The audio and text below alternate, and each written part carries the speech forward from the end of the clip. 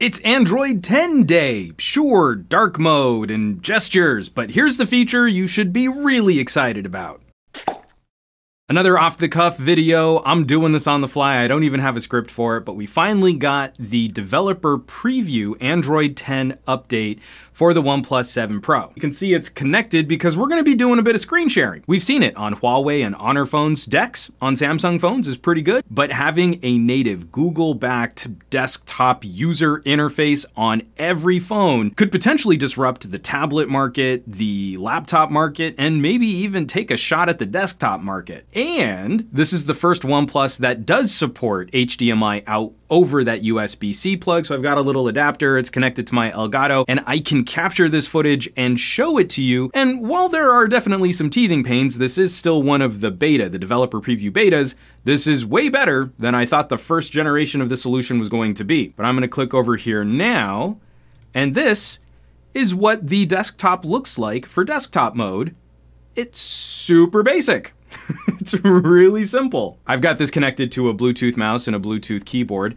Unfortunately, currently, it doesn't seem like the dev preview will do the same trick that Huawei and Samsung DeX will do. The OnePlus 7 phone screen is just on the normal home screen, and there isn't anything in your notification tray to point you towards how you could control desktop mode over your phone. Going back into the screen share, we've got two icons and that's it. Moving down to the little gear icon for settings, we can add an app shortcut to our, our home screen, and we can set the wallpaper.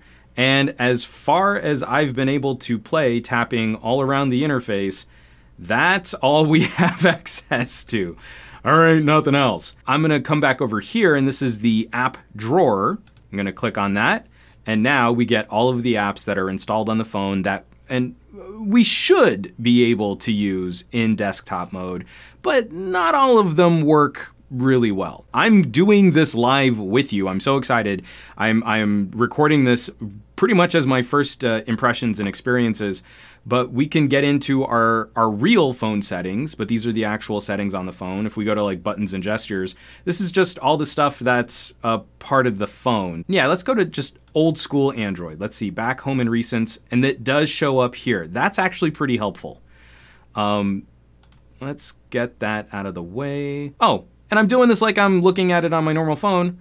I can full screen it, but you can see when an app doesn't really know what to do with full screen, it just stays doing portrait mode anyway. So that's not super helpful. One of the things you'd probably want to do on your phone in desktop mode is surf the internet. So let's head over to somegadgetguy.com, pretty much one of the best websites. And I, right there, I can expand that window just like I normally would be able to, and I can full screen it. So that works pretty well. Oh, and it's already set to request desktop site. Okay, so that's helpful. So now let me scroll down and yeah, it's it's a little chunky. I wish these borders would go away. Having the navigation dock at the bottom, not as helpful as you'd think it would be. But this is a pretty normal Firefox browsing experience. Like uh, I can click on my V50 dual screen review here. And let's see, it's going to pull up. And let's see if I can play the video in the browser. Yep, and it's playing in the browser, just like you would expect it to. That's working really well. Okay, so let's get rid of this. I can't figure out a way to get it to like minimize to a tray.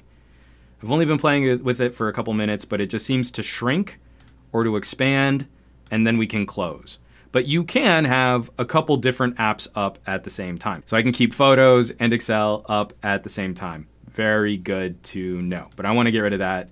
And now let's see, I think I've got my smartphone benchmarks.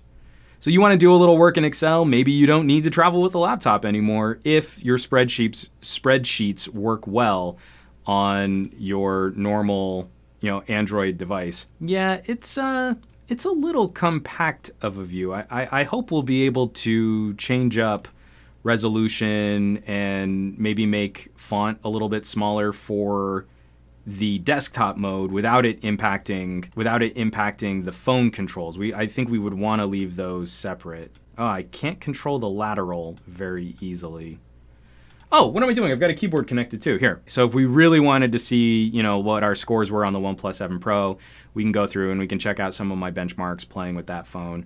So okay, yeah, this this is probably more how I would I would type stuff into this uh, this spreadsheet. This one's critical for me because I've been trying to produce more content directly from my phone.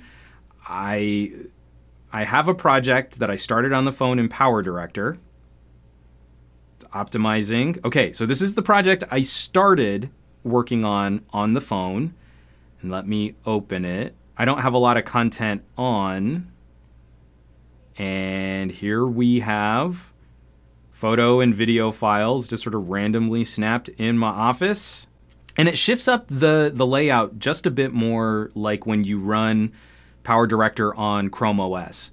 So a lot of this seems like Google's just trying to adopt part of their part of their desktop mode from Chrome OS, and I'm fine with that. So yeah, this seems to be playing pretty well, at least like I would expect it to.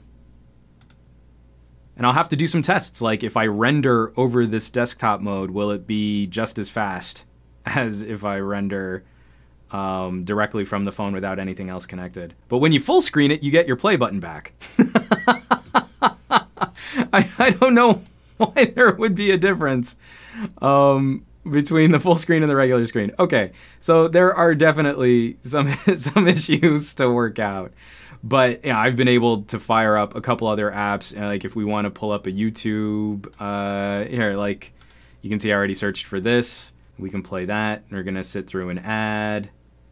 Gonna skip this ad. It's playing there. Now if I full screen it, oh, it just stays the same, but let's try doing this too. And there it's playing all, the, the whole video right there. Excellent. Very, very good. That makes me happy. And we can kill that right now too.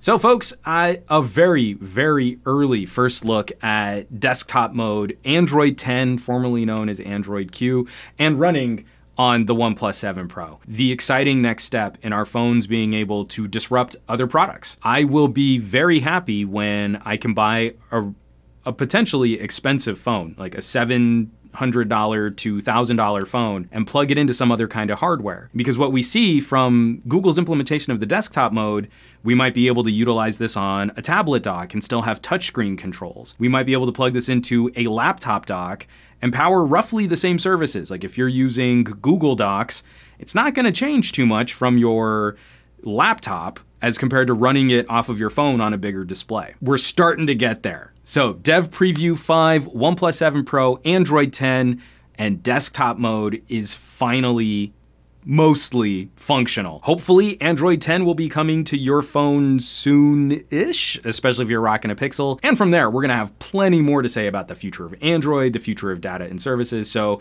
I hope you'll stay tuned, because it's gonna be a fun discussion. I'm more excited about this Android operating system release than I have been for a couple years, because I want our ridiculously powerful phones to be capable of doing more things and replacing other gadgets. As always, folks, thanks so much for watching, for sharing these videos, subscribing to this channel. If you'd like to help support some more of these types of conversations, digging a little deeper into our gadgets and our, our data and our services, there are links below. You could consider joining my Patreon. There's an amazing community of patrons that are helping to support these types of tech topics, especially when I'm just rambling right off the cuff like this. They're a fun community. I, I hope you'll check them out. Now, you know where you can find find me around the rest of the internet at some gadget guy on the Twitters and the Twitch and the Facebooks and the Instagrams, and I will catch you all on the next video.